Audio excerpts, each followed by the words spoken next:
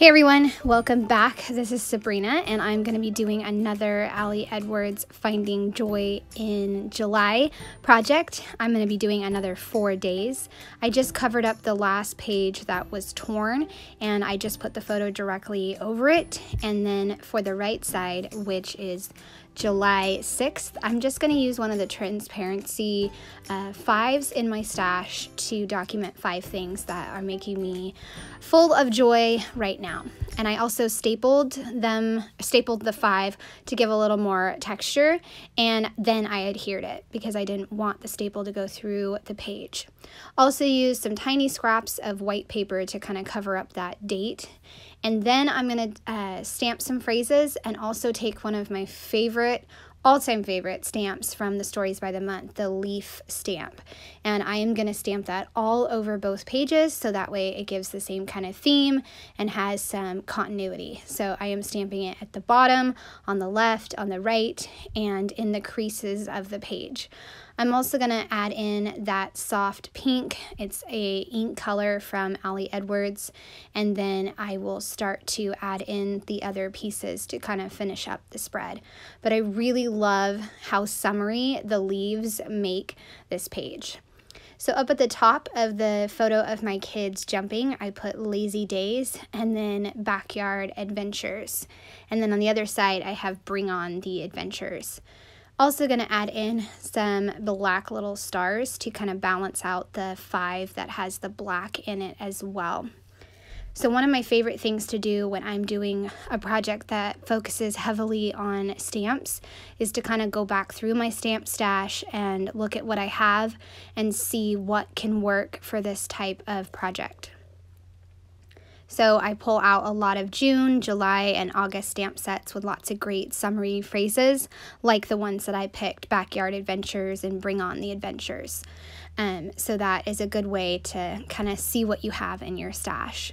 So on the left hand side, I just put that my joy was found seeing my kids jumping together and getting along and not arguing.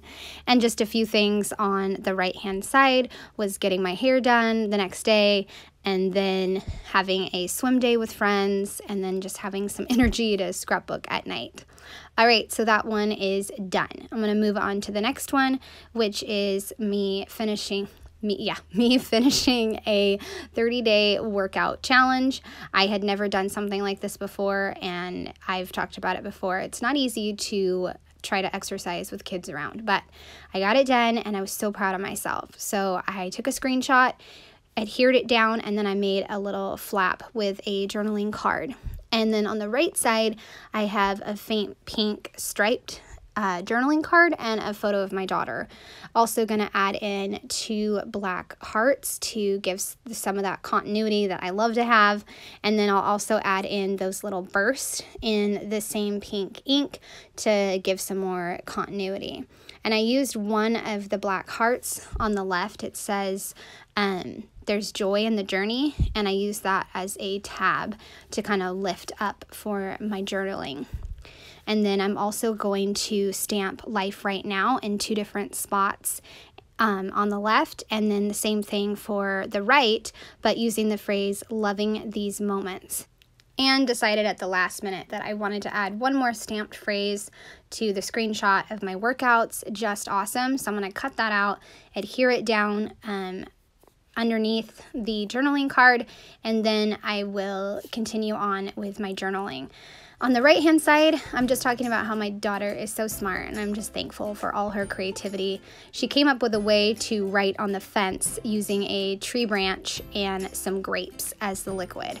So I thought that was pretty ingenious and it's just, she's the best. And then on the left, of course, I'm talking about how I am proud of myself for sticking with this challenge, even when there was days I didn't want to do it, but I did it and I'm proud of myself. All right, there is four more spreads done for Finding Joy in July, and I hope you guys enjoyed seeing these come together. I would love a thumbs up or a subscribe if you're new to my channel. Thanks so much for watching. Have a great day. Bye.